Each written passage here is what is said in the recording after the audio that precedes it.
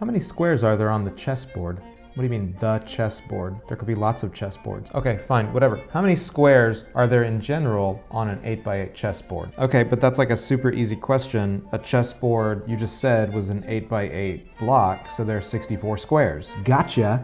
They're not 64, there are more. So this is a classic math contest style problem. You'll have a figure of some kind and you'll be asked how many rectangles, how many triangles, how many squares are in that figure. And of course, they do not mean how many individual smallest unit squares can you count, because that would be super easy. That wouldn't be a math contest style question. Instead, what they mean is how many squares can you make in total, or how many triangles can you make, or whatever it might be, using the squares themselves, using whatever the underlying block size is. So of course these questions are designed to be difficult, but how do we want to approach them in general? How could we try and figure out the number of squares here on the chessboard? One helpful strategy is to break it down into a smaller problem. Instead of considering a full 8x8 chessboard, consider something small, in fact consider the smallest case possible, the 1x1 block. How many squares are there on the 1x1 block? The answer is 1. Let's write that down. So for our simplest case scenario, a 1 by 1 chessboard, we have exactly one square. What happens though if we zoom out to a 2 by 2 chessboard? Well, you can probably tell we can count the individual squares themselves, 1, 2,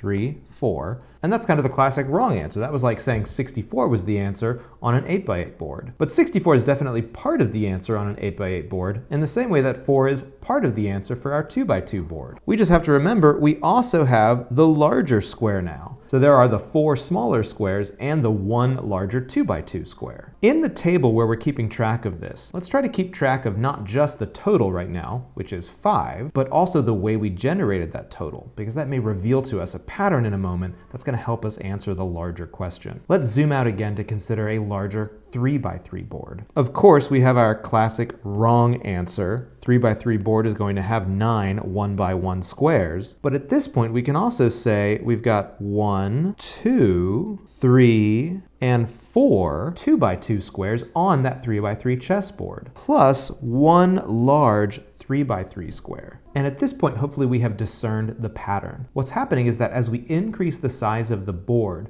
we basically increase the dimensions that are possible for some number of square. That is, our one square gets larger, and of course, our one by one squares get more numerous. If we now wanted to speed ahead, we could see that on our 8 by 8 chessboard, we're going to have all the squares up to the size of that board squared. Just like on the 3 by 3 chessboard, we eventually had all of the squares up to the size 9, which is 3 times 3. So essentially, this problem boils down to the sum of consecutive squares. For an 8x8 chessboard, what we really need to do is add up all the perfect squares up to 8 squared itself, 64. So that's going to be 1 plus 4 plus 9 plus 16 plus 25 plus 36 plus 49 plus 64 itself. If you're doing contest math, chances are you know there is a formula that will compute the sum of consecutive squares for you. It ends up looking like this up here, k times the quantity k plus 1 times the quantity 2k plus 1, all divided by 6, when k is the largest consecutive square that you want to add together. In the case of k equals 8, you can see that that simplifies down to essentially 4 times 3 times 17, and that works out to 204. So for our classic chessboard problem, we can say an 8x8 chessboard has a total of 204 squares